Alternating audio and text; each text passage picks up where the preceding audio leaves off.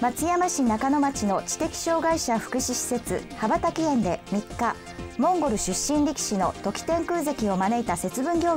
事があり施設利用者およそ100人が力士との交流を楽しみました。